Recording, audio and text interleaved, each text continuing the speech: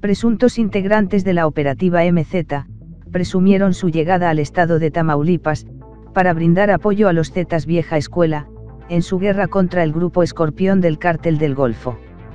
En diversos videos publicados por Alejandro Quiroz, alias el Conejo Flechas, se puede comprobar que el cártel de Sinaloa, facción Mayo Zambada, envió apoyo a los Zetas vieja escuela, quienes también mantienen una alianza con el cártel Jalisco Nueva Generación, y el cártel del Golfo Grupo Metros.